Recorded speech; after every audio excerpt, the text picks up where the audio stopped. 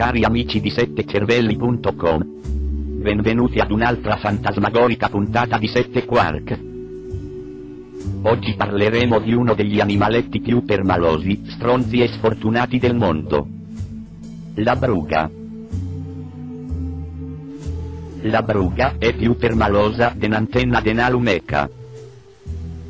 Basta che t'accosti, anche per scherzo, che lì appena sente a Sofie, s'archiude tutta con quel ciuffo de peli manco si e stessi a guardare in mezzo alle cosce.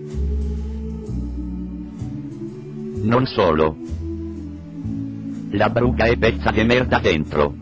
Si per sbaglio la sfiori, e dico la sfiori, te vengono 47.000 bolle tale mene, che per mandarle via, ce voglion do tubetti de foille.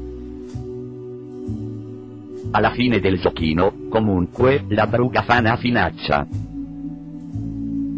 O diventa farfalla, e anche se de lusso campa mezza giornata, o peggio me sento, i tirano quelli della comunità montana su ple piante che saria, come si tenissero a spare a chiesa.